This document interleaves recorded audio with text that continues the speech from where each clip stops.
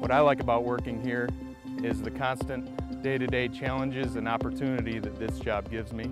But the best part about working here is all the great people that I get to work with every day.